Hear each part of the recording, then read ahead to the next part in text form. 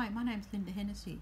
I had from Sydney, New South Wales. I have a bi- bipolar uh, di- diagnosis. When I was in the inpatient unit in 1994, I, I promised myself I wanted to help other consumers have a better recovery journey than I did.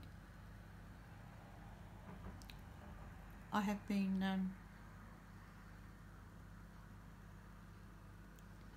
since 1997. my I have achieved I think I have achieved this with my work since 1997 one of my achievements is organising a Mad Pride concert since 2004 my most recent uh, Mad Pride concert was at Adelaide Themes.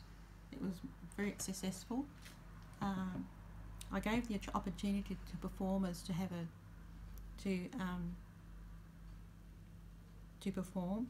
They were mad and proud, and they were able to to show that there were more than a set of symptoms.